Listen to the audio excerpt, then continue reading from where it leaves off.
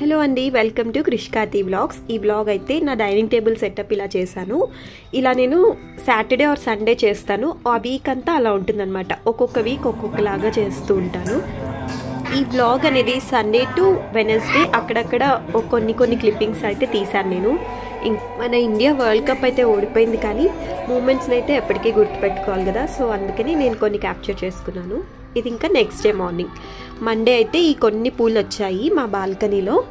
గన్నేరు పూలు శంకు పూలు అయితే ఈ మధ్య రోజు ఒక త్రీ ఫోర్ అయితే వస్తున్నాయి. చిన్న తోటే కానీ బాగా వస్తున్నాయి అనమాట దాన్ని ఇంకా పెద్ద తోటలోకి మారిస్తే బాగా వస్తాయేమో చూడాలి. మందారం అయితే minimum three to four varieties అయితే పెట్టుకున్నాను. అవి రోజు వస్తాయి. సో చా మన మొక్కలకి వచ్చే పూలు ఒక రెండు మూడు అయినా కూడా చాలా హ్యాపీగా ఉంటుంది కదా. నాకైతే ఆ రోజు పూజ చేసుకున్నప్పుడు చాలా తృప్తిగా అనిపిస్తుంది. ఇంకా నేను ఇప్పుడు కిచెన్లో అయితే ఆయిల్ కంటైనర్స్ కొంచెం అంటే ఆ జిడ్డు పట్టేసినాయి అనమాట అండ్ ప్లస్ ఇది కొత్తగా కొన్నాను. మొన్న దస్తకర్ ఎగ్జిబిషన్కి వెళ్ళాను కదా అక్కడే తీసుకున్నాను సెరామిక్ది దీన్ని క్లీన్ చేశాను. దీంట్లో ఆయిల్ హాఫ్ లీటర్ పడుతుంది. నాది నా దగ్గర ఇలాంటిది పెద్దది కూడా ఉంది. ఎల్లో కలర్ది వెనకాల కనిపిస్తుంది కదా అది. సో ఫస్ట్ అయితే ఇది క్లీన్ చేసేసుకుని ఆయిల్ ఫిల్ చేసుకున్నాను. ఇది చూడండి ఇది పెద్దది. ఇది వన్ లీటర్ పడుతుంది అనమాట so glass containers ceramic containers అంటే నాకు చాలా ఇష్టము. అవే ఎక్కువ వాడటానికి ప్రిఫర్ చేస్తాను. అండ్ ఇదైతే హ్యాండీగా ఉంటుంది యూజ్ చేయడానికి. ఒక త్రీ హండ్రెడ్ ఎంఎల్ అలా పడుతుంది ఆ ట్రాన్స్పరెంట్ బాటిల్. ఈ క్యూట్ ఏమో మీషోలో బుక్ చేశాను. యాక్చువల్లీ దాంట్లో టూత్ పిక్స్ ఉంటాయి కదా అవి పెట్టుకుంటారు. నేనైతే చిన్న స్పూన్స్ వేసి పెట్టేసా. అండ్ నేను ఇక్కడ ఒక ఆర్గనైజర్ తయారు చేస్తున్నాను చూడండి. మొన్న చూపించాను కదా కొన్ని డెకరేటివ్ ఐటమ్స్. రెడ్ కలర్ స్వాన్ది ఉంది కదా ట్రే సెరామిక్ది దానికి వచ్చిన బాక్స్ అనమాట ఇది కార్డ్బోర్డ్ బాక్స్.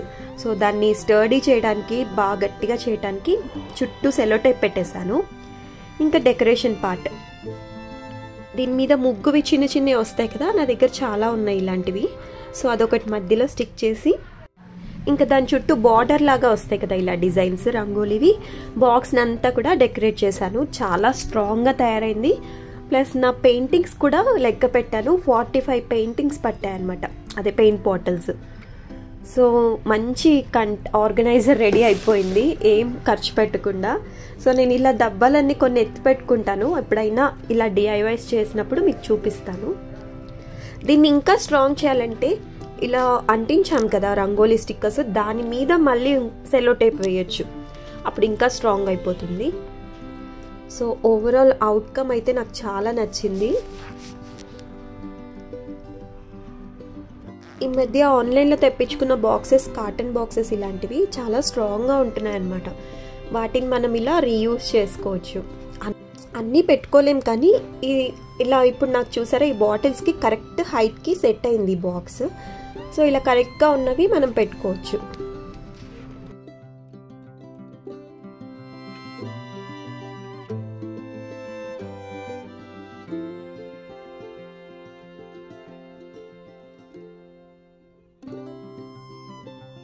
అండ్ నెక్స్ట్ ఇంకొక చిన్న డిఐవై పని ఉంది నా దగ్గర ఈ వాల్ క్లాక్ చాలా పాతదనమాట మొత్తం విరిగిపోయింది. గ్లాస్ పగిలిపోయింది. సో పడైపోద్ది అవ్వలేదు హోమ్ సెంటర్లో తీసుకున్నా ఇది ఎప్పుడో wall clock so mirror stick చేసేస్తున్నాను దానికి మిడిల్లో పిస్తాషియల్ వాల్ ఆర్ట్ చూపించాను కదా. సో అన్- అప్పుడు నేను ఇలాంటి మిర్రర్స్ అక్రిలిక్ మిర్రర్స్ ఇవి రియల్ మిర్రర్స్ కాదు. సో ఇవి తెప్పించుకున్నాను. అంటే ప్లాస్టిక్ మిర్రర్స్ బాగానే కనిపిస్తుంది. చూసారా ఎంత మంచి ఆర్ట్ పీస్ రెడీ అయిపోయిందో. వేస్ట్గా పడేస్తాము అనుకున్నాను కానీ అలా చేసేసాను. ఇంకా ఈవినింగ్ అయితే నేను దీపాలు పెట్టుకుంటున్నాను. తులసి కోట్ దగ్గర ఒకటి గుమ్మం ముందు రెండు పెట్టుకుంటాను.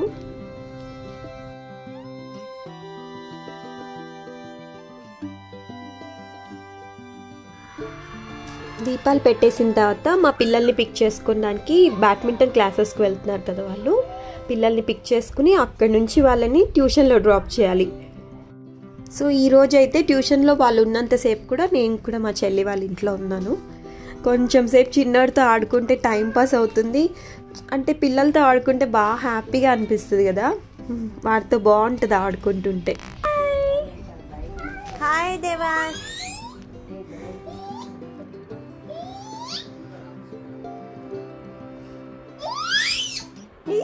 ఇంకా నెక్స్ట్ డేకి ఏమైనా తెచ్చుకుందామని చెప్పి నేనైతే కిందికి వెళ్ళాను. ఆకుకూరలు ఇవన్నీ ఉన్నాయన్నమాట ఫ్రెష్గా పెట్టారు. పొన్నగంట ఆకు తీసుకున్నాను. పప్పు చేశాను కదా నేను షార్ట్స్లో పోస్ట్ చేశాను చూడండి. పొన్నగంట ఆకు ఇంకా అనపకాయలు అలా కొన్ని తీసుకున్నాను. పల్లీలు అవన్నీ. వీళ్ళ దగ్గర చాలా ఫ్రెష్గా ఉంటాయి ఎప్పటికప్పుడు తెప్పేస్తారనమాట మళ్ళీ వచ్చేసాను ఇంకా మా పిల్లలు చదవటం అవ్వలేదు వీళ్ళది అయిన తర్వాత ఇంక ఇంటికి వెళ్ళాలి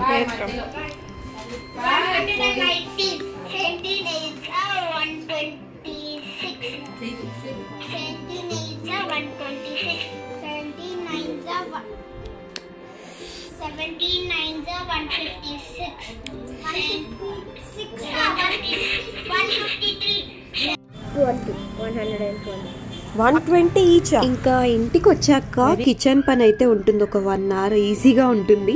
ఫస్ట్ అయితే గిన్నెలన్నీ కడిగినవి సర్దేయాలి ఎక్కడికక్కడ. తర్వాత పిల్లల టిఫిన్ బాక్సెస్ వాష్ చేసుకోవాలి. ఇదైతే పెద్ద పని అనిపిస్తుంది నాకు. ఎందుకంటే వాళ్ళు మా పనమ్మాయి లేట్గా వస్తుంది అనమాట ట్వెల్వ్కి అలా వస్తుంది. వీళ్ళేమో మధ్యాహ్నం వస్తారు కదా.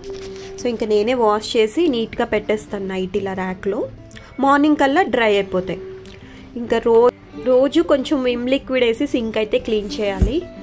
సో దానివల్ల ఏంటంటే బొద్దింకలు రాకుండా ఉంటాయి మెయిన్. అంటే నీట్గానే ఉన్నా కూడా అంటే మన పైకి నీట్గా కనిపిస్తుంది కానీ కొంచెం లిక్విడ్ వేసి వాష్ చేసి డెటాల్ వాటర్లో కలిపి వేసేసామంటే బొద్దింకలు రాకుండా ఉంటాయి.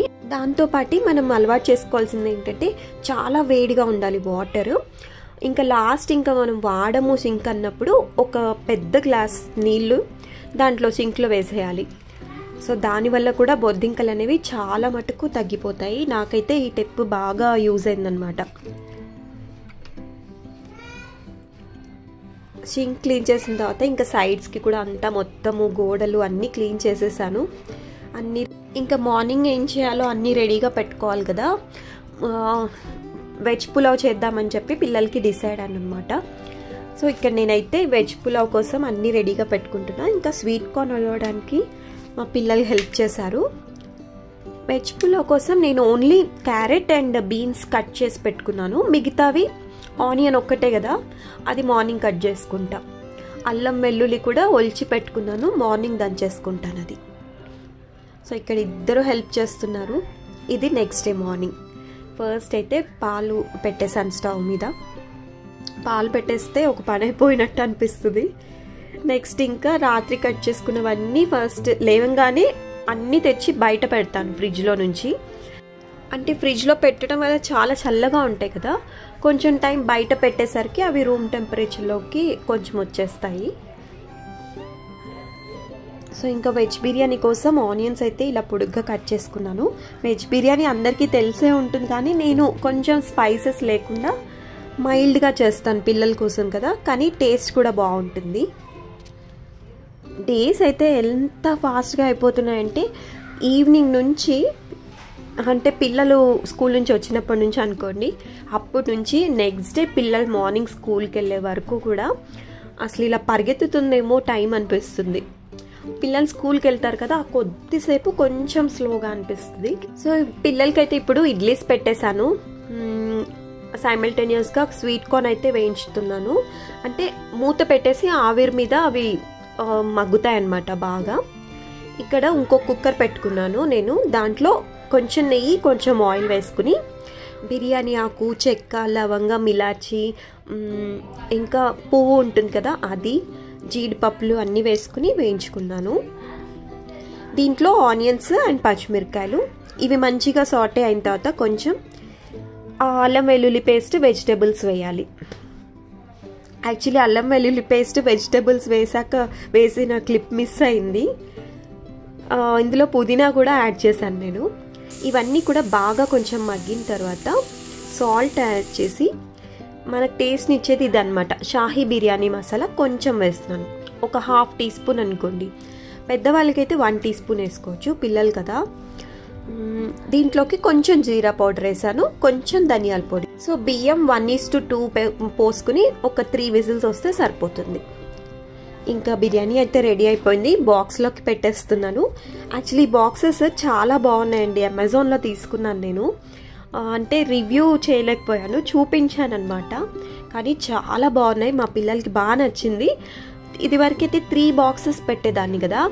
సో వాళ్ళు ఒక్కొక్క బాక్స్ తీసుకునేసరికి టైం కన్జ్యూమింగ్గా అనిపించిందంట. ఇదైతే బాగుందమ్మా అన్నారు. సో మీలో ఎవరికైనా నచ్చితే తీసుకోండి. చాలా యూస్ఫుల్గా ఉంటుంది. ఇంకా మా అమ్మ పచ్చడి పెట్టింది. ఆవకాయ చిన్న చిన్న ముక్కల పచ్చడి ఉసిరికాయ పచ్చడి. సో థర్డ్ డే అనమాట ఆయిల్ కొంచెం యాడ్ చేస్తాను కావాలా? ఇంకా నైట్ అయితే మళ్ళీ మా చెల్లి వాళ్ళ ఇంటికి వెళ్ళాము. ఇంకా ఈరోజు అమ్మ అక్కడే జొన్న రొట్టెలు చేసిందనమాట. నేను మధ్యాహ్నం పప్పు చేశాను కదా. పొన్నుగంటాకు పప్పు. అది చాలా బాగుంది జొన్న రొట్టెలోకి. సో తను ఈసారి జొన్న రొట్టెలు చేసేటప్పుడు మీకు చూపిస్తాను. ఇలా కర్రతోనే రుద్దుతుంది. ఎంత సాఫ్ట్గా ఉంటాయో టేస్ట్ కూడా చాలా బాగుంటాయి. ఈజీ మెథడ్లో చేసేస్తుంది. చూడండి అస్సలు విరిగిపోదన్నమాట మామూలుగా అయితే చేయితో తడతారు. అలా చేయితో తట్టకుండా కూడా ఇలా చేయొచ్చు ఈ మెథడ్లో. తను చేసేటప్పుడు ముందే. చేస్తాను. పిండి కలిపేక ముందే. సో ఇంకా ఇక్కడ చూడండి మా చిన్నోడు తినిపిస్తున్నాడు కిచ్చుకి. పిల్లలు అలా చిన్న చిన్న పీసెస్ బైట్స్ తీసి తినిపిస్తుంటే భలే ముద్దుగా అనిపిస్తుంది కదా. రెండు వేళ్ళతో భలే క్యూట్గా తినిపిస్తారు చిన్నపిల్లలు